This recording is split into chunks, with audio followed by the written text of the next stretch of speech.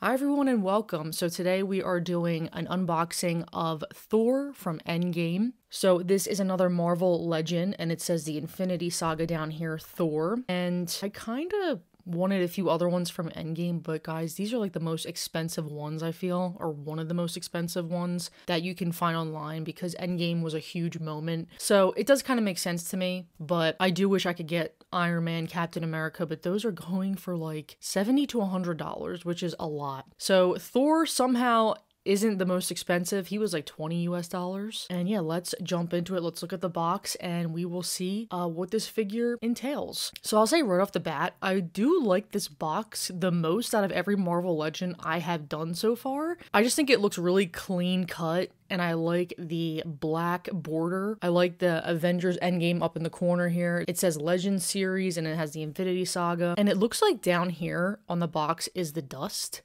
Um, that's just my guess, but it does look like that when Thanos snaps, you know? But of course, this is Endgame, so it's likely when, spoiler, Iron Man does it.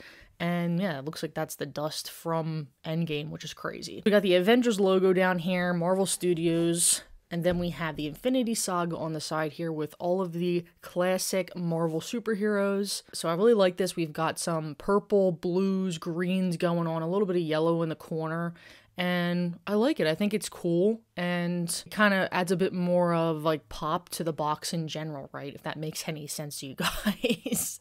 but up here it says the Infinity Saga. The Avengers logo is still down here. And then here is the back of the box. And it says armed with Stormbreaker and Mjolnir. I don't know if I if that's the right pronunciation, it's very hard, but anyway, the son of Odin steps onto the battlefield to face Thanos one final time. And then we have the Avengers Endgame poster in the corner here. And uh, yeah, I really like it. It's kind of a bit of a reflective, shiny, glossy uh, photo of the Avengers, which is really, really cool. So that's the back of it. And then there's one more side. I don't know if I, I don't think I showed this side. So this is the other side. Yep. And this is some more Marvel superheroes, and then we have Thor on this side, as you can see, because that's who we're unboxing. I really wanted Captain America, but he's just so expensive. Maybe I'll get him another time. Um, but yeah, really cool colors going on again, and I dig it. So here's the top of it. It just says Avengers Thor, and again, we have that dust up here. So let's unbox it. Just gonna take him out like so really nicely well kept box, I have to say. And I hope you guys are all doing really well. I feel like I forgot to say that in the beginning.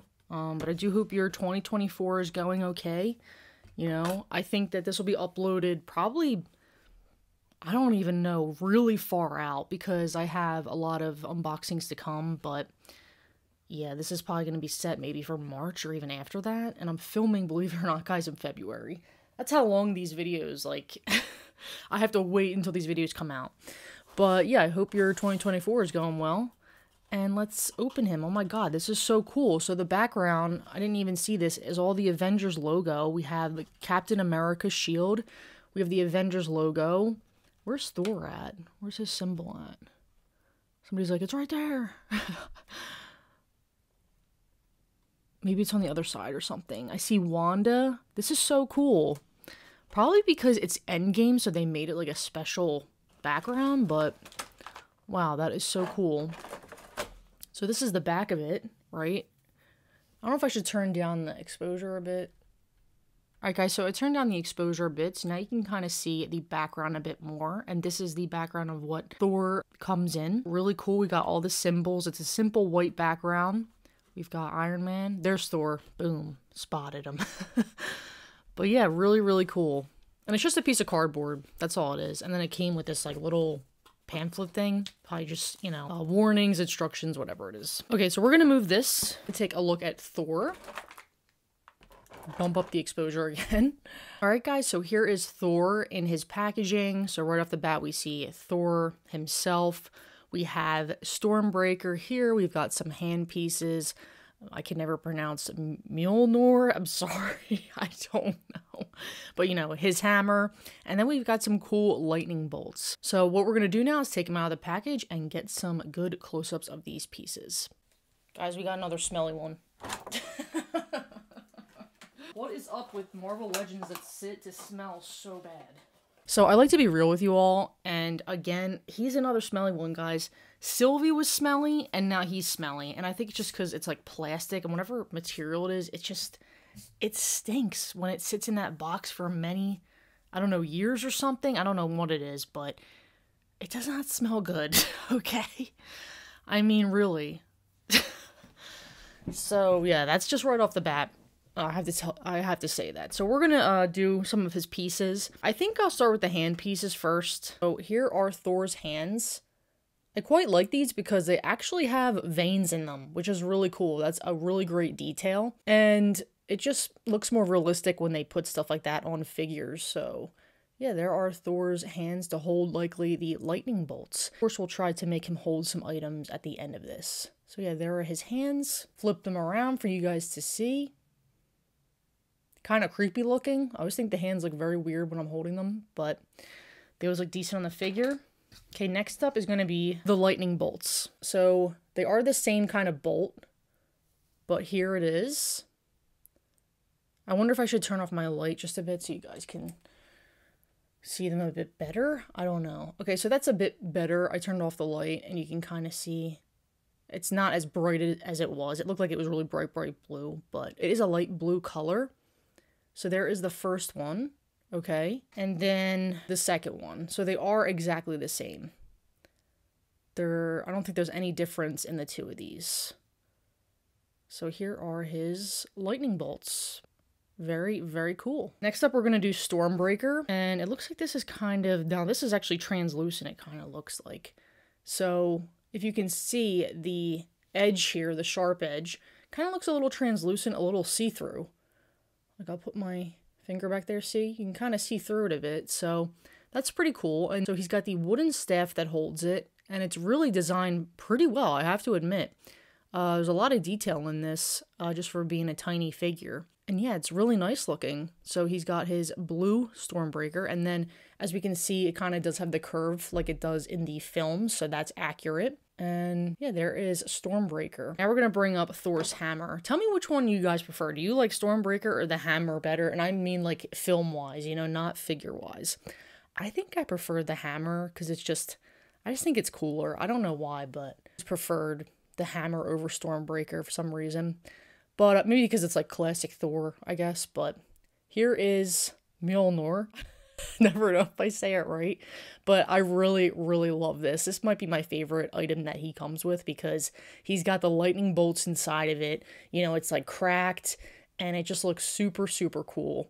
And then, of course, we have the brown handle. So, yeah, there's the front and the back, and I will show the side of it. Is the side of it, the one side, we'll flip it over, and here's the other side. So, yeah, that's probably my favorite item thus far. Really, really cool. Okay, now Thor himself, and as I said to you guys, he smells, and I'm sick of the smelliness. it just drives me nuts because I'm very sensitive to smell. So here is Thor.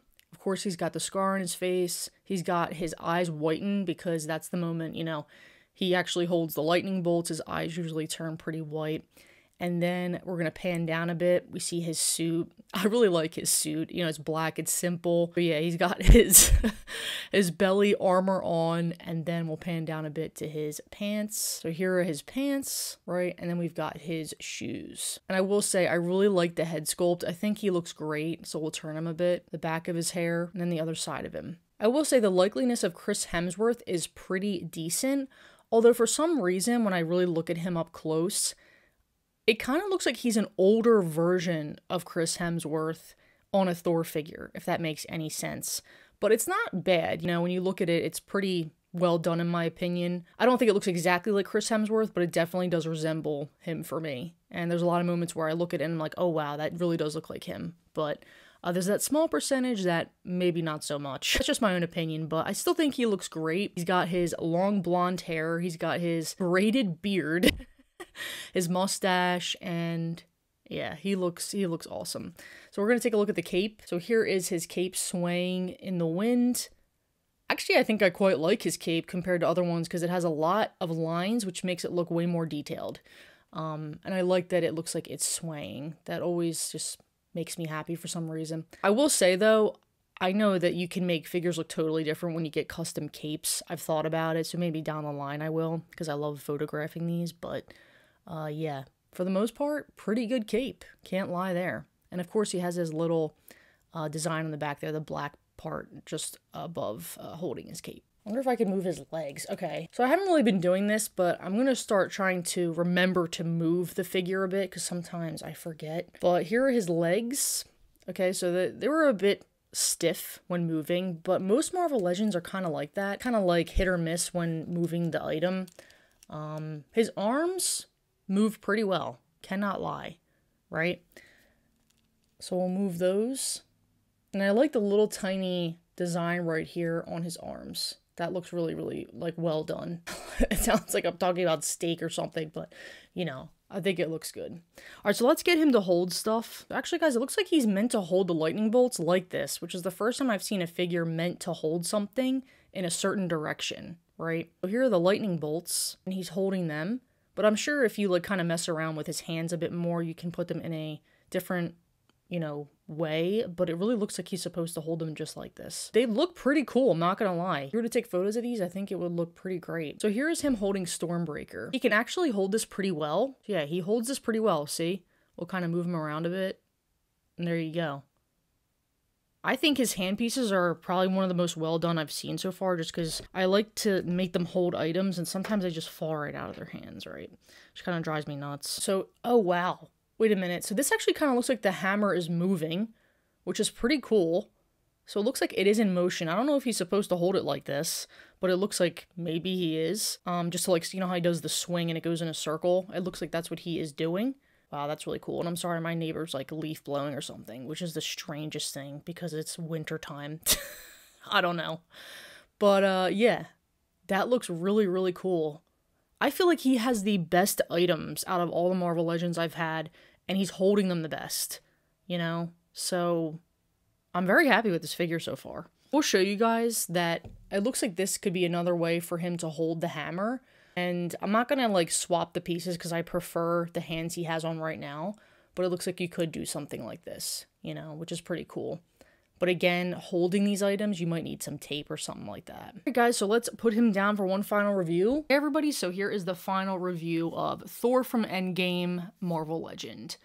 So I have to say, he has some of the best pieces, probably the best hands as well to hold these items, which is really what I wanted because I take photos of these. So that's something I take into consideration when I unbox them is how well are they going to hold these items and look when doing so. But overall, I have no really complaints other than the fact he smells just like Sylvie did. Uh, I can't stand that smell. It just it really drives me crazy because I'm sensitive to smell in general. But besides that, I love the lightning bolts. You know, the hand pieces are cool. I love the hammer Stormbreaker. And my favorite piece is definitely the hammer. I just think it looks amazing, and the fact he's holding it in a way where it looks like it's in motion is really cool. Endgame was such a big moment for Marvel, and I feel like a lot of people, you know, kind of left after Endgame, which I can definitely see both sides. I always try to listen to both sides of, you know, why they don't watch it, watch Marvel anymore, or why they do. Uh, it's good to keep an open mind. But yeah, I really loved Endgame, and it sat and stuck with me for a very long time because, you know, spoiler if you haven't watched it, you know, Iron Man ends up saving the universe and it just it just stuck with me for a while, you know. So yeah. Anyway, this is Thor. That was just a little side note. Front and back, always like to do one of these. And you get to see his whole outfit. And I hope I showed like the side of him. Here's the back of him. You know, he's got little details still. He's got like a gold armor trim right there. But, you know, he looks pretty accurate to the film. That's really Thor right there on my table, which is crazy. So I hope you guys enjoyed this unboxing. I do action figure unboxings mainly on this channel. Um, I did do some dolls. So if you're interested in that content, please subscribe. And I hope you guys have a great rest of your day wherever you're at in the world. All right, hope to see you in my next one. Bye now.